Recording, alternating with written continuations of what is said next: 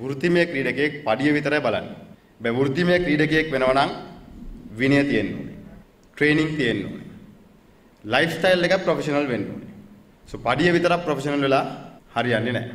ඒ නිසා අපි ඔලිම්පික් කමිටු එකත් අපිත් පැහැදිලිව ක්‍රීඩා අමාත්‍යාංශයේ විදියට මූල්‍යමය විනිවිදභාවය තියෙන්න ඕනේ සහ කැපවීම සහ ඒ සඳහා අදිෂ්ඨානාත්මකව ඉලක්ක සාගතව ගමන් කරන්න අවශ්‍ය වැඩපිළිවෙලක් තියෙන්න ඕනේ. මොකද අපි අමාත්‍යාංශයක් විදියට පහුගිය අවුරුදු 20 අපේ අයවැයෙන් 106යි ඇත්ලීට්ගේ පර්ෆෝමන්ස් වලට ඉන්වෙස්ට් කරලා තියෙනවා.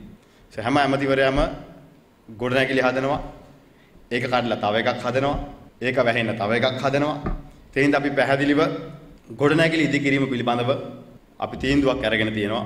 ක්‍රීඩා කවුන්සිල එක්ක සාකච්ඡා කරලා තෝරගත්තු ඉදිකිරීම් වලට පමණයි. මෙවැනි නවතම ක්‍රීඩා තොරතුරු දැනගැනීමට අපගේ SL ස්පෝට් YouTube චනලය දැන්ම සබස්ක්‍රයිබ් කරන්න.